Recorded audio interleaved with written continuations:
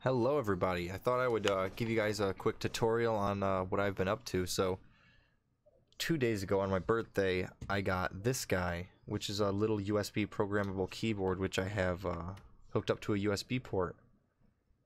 And uh, there's this program called Auto Hotkey, and what this is, is it's um, like a text editor where you can go in and program a script to automatically run on, of course, a certain hotkey.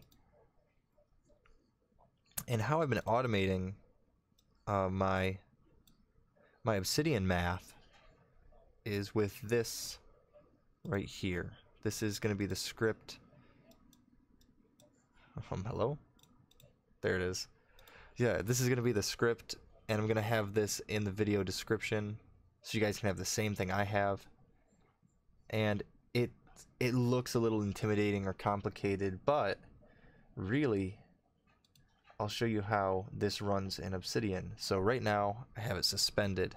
First, I'm going to turn on my um, my programmable keyboard, and the basics of how this works is where can I put this where it wouldn't block anything? Uh, I'll put it right there. Okay. So this is really cool. I've got one really, really useful hotkey right here. And this thing arms and disarms the number pad. So right now it's suspended. I use the whole number pad. Everything works fine. You know, bam. Full utility out of the number pad. Then I hit this right here. And now this is armed to do... For, first, this one's my favorite automatically does the dollar sign and puts the cursor back in the middle. So that's what number one does. Number two, fraction. This one is being, this one's one of my most used, so I put it first. Number three, square root. Again, it's something that you run into fairly often. And I like what I did here. So the next row is int. This is for the integrals of calculus. And then you're wondering what 5 might be. Well, you're wrong. It's space. Space, actually. Because when you're typing something like uh, F or like F like this, you can space and it, the output's all the same. But if you type F space F space F all of a sudden you've got that space you were wanting. So I figured I hit space a lot, especially when you have to type out full words. You know, having space there is great. And then d over dx, we finally got to it. So integral, something else, derivative. I really liked how it's separated. For me, that's just, I, I really enjoy that. And I've got one hidden key that I've bound and that is this function button up here.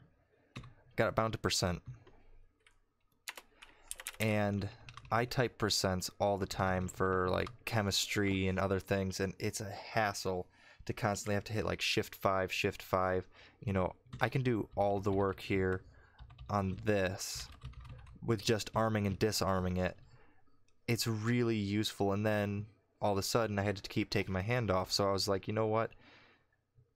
Ease of use to save me some time. This whole setup is plug and play to your normal um, your normal number pad on your computer. So I'm not even going to use this. I'm going to use my regular number pad. It should be armed.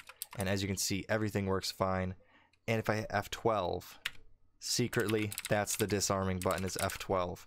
So this will work both with one of these guys, and if you don't have that, it will work perfectly fine with your keyboard. Yeah, and F11 is what I bound to percent. So, thank you guys for watching. Hopefully this helps you with your automation. And if any of you guys didn't catch it, you don't need to buy anything extra to get this to work. This whole script works with your normal keyboard.